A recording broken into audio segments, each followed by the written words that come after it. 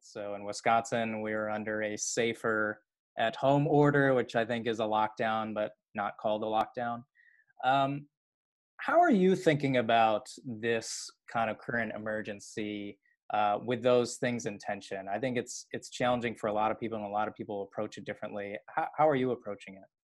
I approached it by to, not to be too shameless in plugging Will, but reading Rick Esenberg's piece about it, and I'd emailed him. I'm like, how much of this is constitutional right now?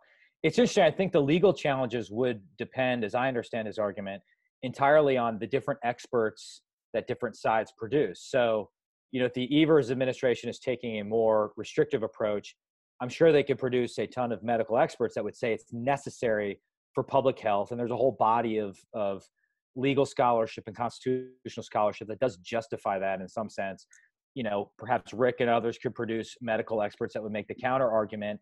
But ultimately, I think the tension can only go so far. In other words, I think there are limits, particularly in a state like Wisconsin, where let's say we're a bit more, uh, you know, don't tread on me than other states. Um, or jealous we jealously guard our natural rights There or go. god-given rights would be a good way to put that um, uh, i do think that pushed much further this would induce some social unrest. I think a flashpoint could be the election on april 7th right?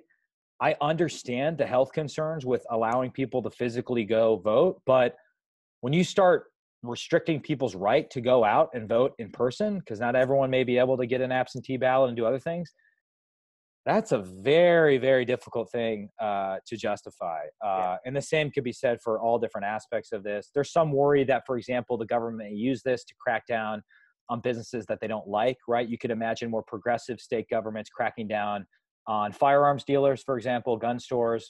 Uh, it is really a difficult balance and i'm not sure i've figured out what the right uh, the, the the easiest way to thread the needle